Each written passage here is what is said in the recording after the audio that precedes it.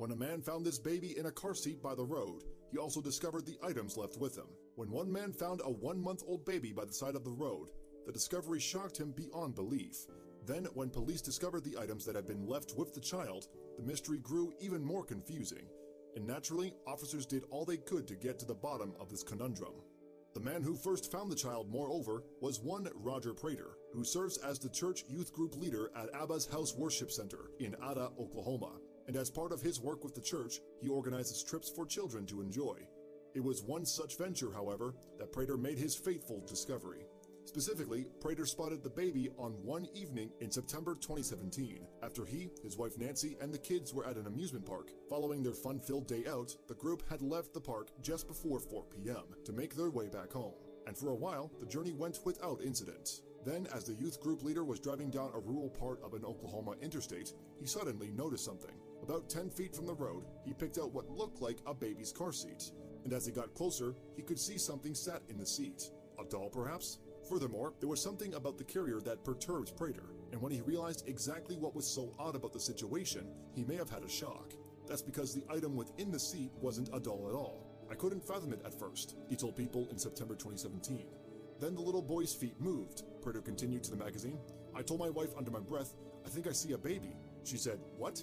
Concerned, the couple decided to stop the van and pull over and as they slowed to a halt, their greatest fears were confirmed. Indeed, Prater and his wife had discovered a living four-week-old baby, seemingly dumped by the side of the interstate. But while there was no telling how long the child had been there, according to Prater, his prospects didn't look good at first glance. His eyes were shut, Prater explained. I was freaking out. I thought, don't let there be anything wrong with him. The churchgoer then rushed to the baby's aid and picked up the carrier. Thankfully, at that moment, Prater would add to people, the infant's eyes popped open. And upon discovering the child was alive, Prater found himself instantly overcome with emotion. I started bawling. I was relieved he was okay, he said to the magazine. He was just a little fella, he added. Thank God we got there in time. Then, as it was hot that day, Prater plucked the baby out of his seat and placed him in the van. He subsequently turned the air conditioning on to cool him down and then called the police to notify them of his discovery. That's when Prater noticed, however, that the baby was actually pretty well turned out. He was real clean and had a onesie on, Prater explained to people. Beautiful baby. And that wasn't the only thing that was unusual about the child's abandonment. When the authorities arrived on the scene, for instance, they discovered that whoever had dumped him had stuffed the car seat with $5,500. The baby's social security card and birth certificate were also right there next to him. Then, in due course, police transported the baby to a local hospital. Thankfully, doctors there found that he was doing fine, and despite temperatures on the road that day pushing past 90 degrees Fahrenheit, the child showed no signs of heat-related distress.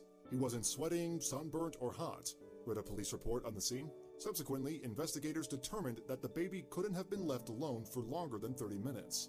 And of course, his fate could have been a lot worse had Prater not spotted him. Then, using the documents found with the baby, police were able to track down his mom. The mother was taken to the hospital to be evaluated. Sergeant Gary Knight from the Oklahoma Police Department would later reveal to people. The state would eventually go on to take custody of her child. Perhaps, though, the mother and her baby would have both been better served if she had taken advantage of Oklahoma's safe haven policy. This means that parents can relinquish unwanted children legally and responsibly at designated spots such as hospitals. And in 2015, Dawn Geras, the president of the Save Abandoned Babies Foundation, estimated that more than 3,000 babies throughout the U.S. had been given up in this way since the policy was first implemented. However, data on the number of children that are abandoned illegally in public places is much more difficult to come by. And while Geras has ventured that around 1,400 babies were given up in this way from 1999 to 2015, she acknowledged that the way in which she reached this number may not be particularly accurate. Yet, although the baby Prater found was not abandoned legally, police would go on to confirm that they'd made no arrests in the immediate aftermath of this ordeal. Moreover, to protect the identities of those involved, authorities decided not to release any names to the media. Indeed, it seemed as if the most important thing was making sure that the baby was happy and healthy, and it appeared he was, according to the September 2017 report from People. The little boy is safe, Sheree Powell from Oklahoma's Department of Human Services confirmed to the magazine. She added that her unit had already been inundated with adoption offers.